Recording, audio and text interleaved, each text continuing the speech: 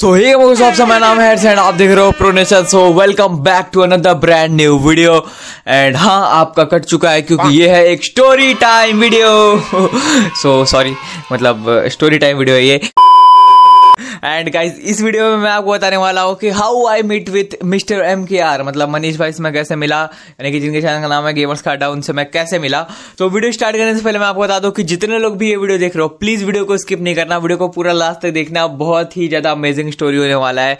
And literally you will relate this because यार मतलब जो मेरे साथ सीन हुआ था ना मतलब हमारी फ्रेंडशिप कुछ ऐसे टाइप से हुई थी लाइक मतलब वो होता है ना मतलब ऐसे लड़ाई झगड़े के बीच में वो दुश्मनी वाली फ्रेंडशिप वैसे वाली हो गई थी। तो मैं आपको बताता हुआ क्या था। एक्चुअली टोटल सारी चीज़ें बताता हूँ।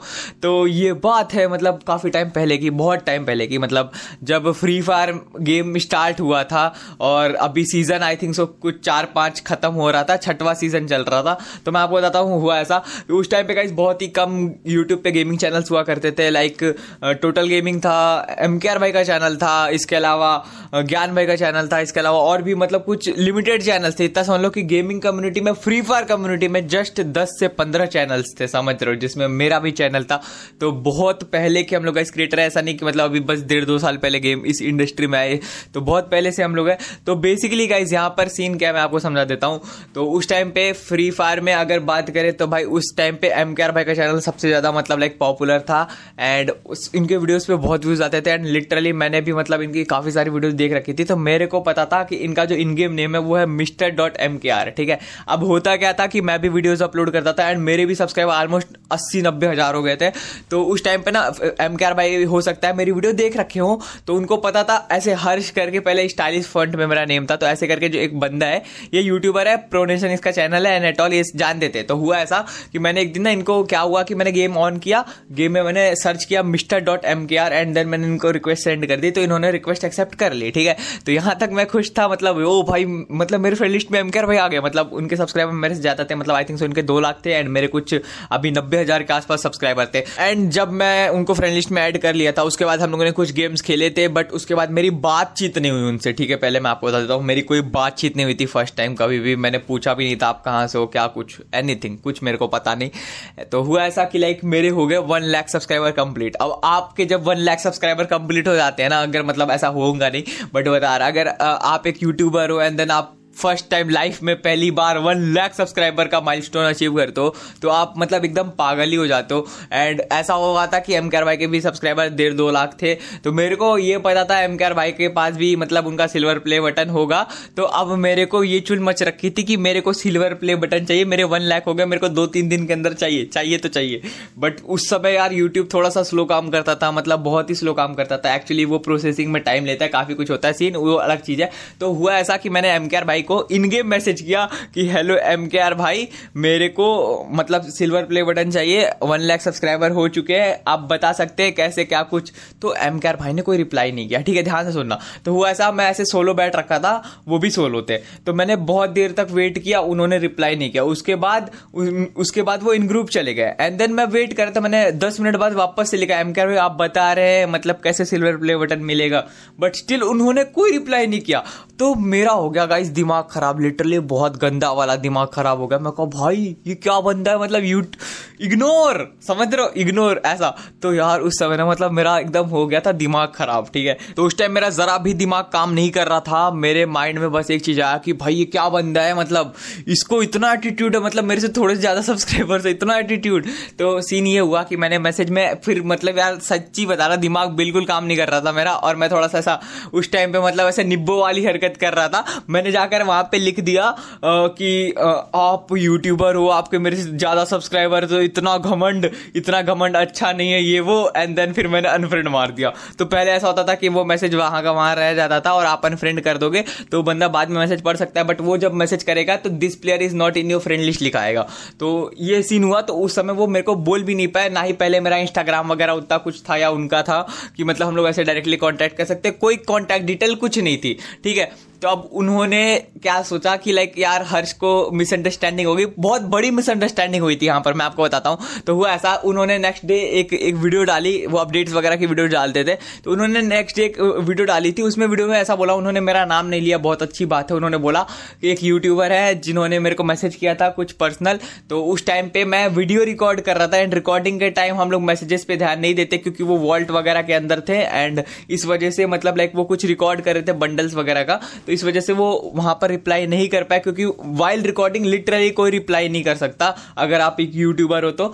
एंड पहले मैं इतने सारी चीज़ों को ध्यान में नहीं देता था, इस वजह से वहाँ पर एक बहुत बड़ी मिसअंडरस्टैंडिंग क्रिएट हो गई। तो इस वजह से गाइज़ यहाँ पर इतना बड़ा मतलब झोल वगैरह हो गया। अब हुआ क्या बताता हूँ तो एम के आर भाई ने नेक्स्ट डे एक वीडियो डाली थी। उस वीडियो में एम के आर भाई ने बोला कि एक यूट्यूबर है जिन, जिन्होंने मतलब मिसअंडरस्टैंडिंग की वजह से ऐसा हुआ था एंड मैं उस टाइम रिकॉर्ड कर रहा था तो मैं वीडियो में मतलब लाइक एट द टाइम मैं उनका रिप्लाई नहीं कर पाया। तो इस वजह से उन्होंने मेरे को अनफ्रेंड कर दिया।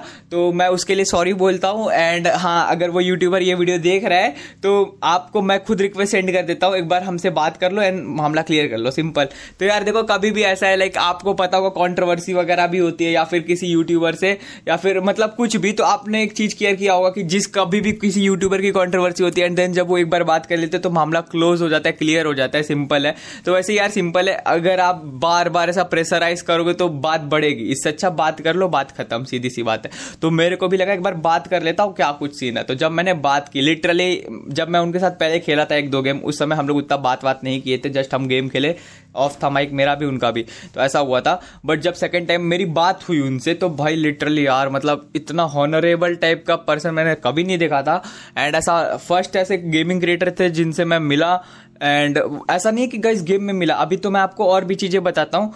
तो मेरे को उनका लाइक बेसिकली बिहेवियर काफ़ी ज़्यादा पसंद आया। एंड मेरे को सही लगा और उतनी बड़ी मिसअंडरस्टैंडिंग की वजह से इतना कुछ क्रिएट हो गया बवाल वगैरह।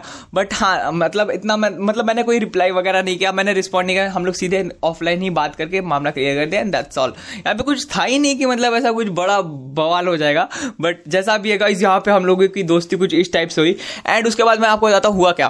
तो कुछ टाइम पहले की बात है मतलब ऑलमोस्ट वन ईयर पहले मेरे को ना मतलब लाइव स्ट्रीम वगैरह करना था तो मेरे घर पे वाईफाई वगैरह का इशू था यहाँ पर, जहाँ पर मैं रहता हूँ। यहाँ पर मतलब मेरा घर है, वो एकदम ऐसा रोड एरिया पे है। रोड एरिया मतलब आप समझ रहे हो टर्निंग पॉइंट पे। जैसे आप टर्न किए एंड मेरा घर है वहाँ पे। तो होता ये है कि सामने जब बाइक्स या कार्स आते हैं ना तो वो टर्न करते टाइम हॉर्न बजाने लग जाते जैसे पी पी पी तो उसकी वजह से बहुत आवाज़ आती है तो स्ट्रीमिंग थोड़ा सा पॉसिबल नहीं रहता है मॉर्निंग में। तो इस वजह से मेरे मैनेजर ने बोला था कि हर एक काम करो, तुम शिफ्ट हो जाओ, कहीं और रह लो एक साल के लिए। तो मैं बोला, ठीक है। तो ऐसे केस में गाइज़ मैंने यहाँ, जहाँ पे मैं रहता हूँ, वहाँ से मैं शिफ्ट होकर अगर आपको पता ना हो तो बता दू, एक लोकेशन है जिसका नाम है अलाहाबाद ठीक है? अलाहाबाद ऐसा करके लोकेशन है। प्रयागराज, उसका नेम चेंज हो गया था भाई तो मैं, वहाँ पर एम भाई भी रहते हैं।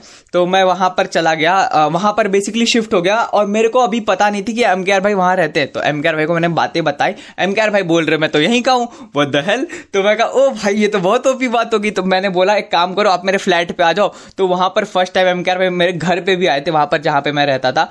तो वहाँ पर मैं मतलब लाइक हम लोग ऐसा ऑफलाइन भी मिल रखे। तो ऐसा नहीं है इस केवल हम गेम फ्रेंड्स या यूट्यूब यूट्यूब वाले फ्रेंड्स है जस्ट हम लोग गाइज़ ऑफलाइन भी मिल रखे। तो ऐसा फ़र्स्ट टाइम कोई ऐसा गेमिंग क्रिएटर देखो, यहाँ पे बहुत बड़ा कॉन्सिडेंस है। मतलब फ़र्स्ट गेमिंग क्रिएटर जिससे मैं मिला था, वो थे एम के आर भाई। एंड जिनसे, जो फ़र्स्ट गेमिंग क्रिएटर जिससे ऑफलाइन भी मैं मिला, वो भी एम के आर है बाई द वे इनके अलावा बहुत सारे ऐसे गेमिंग क्रिएटर्स है जिससे मैं ऑफलाइन मिल चुका हूँ। Like T S G Ritik हो गया एंड सुनीता एंड काफ़ी सारे और भी क्रिएटर्स है। मतलब एक दो नहीं, बहुत सारे मैं सबके नेम भी नहीं बता सकता। मैं कम से कम पच्चीस से तीस गेमिंग क्रिएटर से मिल रखा हूँ। तो मैं उन सबसे मिलने का भी स्टोरी टाइम अगर आप चाहो तो बना सकता हूँ। बाकी लोकेश गेमर के साथ भी मिल चुका हूँ। मैंने एक डांस की वीडियो डाली थी इंस्टाग्राम पे, जिसने फॉलो नहीं किया, मेरे को फॉलो कर लो at the rate P N Harsh जाकर वहाँ पर देखना। मैं डांस कर रहा था बैकग्राउंड में लोकेश होगा। एंड मेरे पास और भी बहुत सारी फनी क्लिप्स है, सुनीता है। रोमियो की भी क्लिप है by the way but Romeo ने फेस रिवील नहीं किया तो मैंने मेरे को वो नहीं डाल सकता मैं।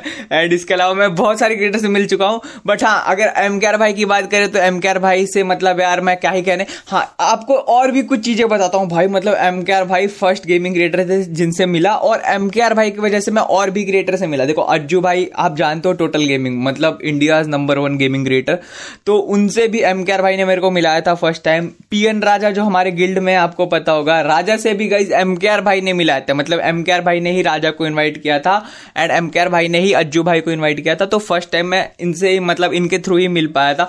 तो ऐसा हुआ था मतलब एक तरह से देखे तो भाई मतलब एम के आर भाई is the one of the best guy जिनसे मैं मिला हूँ एंड मेरे काफ़ी अच्छे फ्रेंड है. तो यार, आपको एक बात बता दू एम भाई के फाइव लैख सब्सक्राइबर अभी तक कंप्लीट नहीं हुए हैं एंड उनको जस्ट कुछ ही सब्सक्राइबर चाहिए तो मेरे जितने भी, मेरी जितनी भी ऑडियंस है, ठीक है? अभी जो भी ये वीडियो देख रहा है, आपको डिस्क्रिप्शन में उनके चैनल का लिंक दे देता हूँ। प्लीज़ जाकर जल्दी से सब्सक्राइब करो। अगर मेरे थ्रू उनके फाइव लैख कंप्लीट होते तो भाई मैं बहुत ज़्यादा खुश हो जाऊँगा एंड आप लोग कर सकते हो। ज़्यादा सब्सक्राइबर नहीं चाहिए आई थिंक सो दस, बारह, तेरह हज़ार सब्सक्राइबर से चाहिए। तो जल्दी जाओ गाइस जितने लोग भी ये वीडियो देख रहे हो ना, नीचे आपको एक डिस्क्रिप्शन में सबसे पहली लिंक मिलेगी। जाकर एम भाई का चैनल सब्सक्राइब करो या फिर आप यूट्यूब पर सर्च कर लेना गेमर्स का अड्डा, जाकर जल्दी से सब्सक्राइब कर लो अगर आपने अभी तक नहीं कर रखा है। एंड हाँ उनका बेल आइकन भी ऑन कर देना ताकि नोटिफिकेशन आती रहे।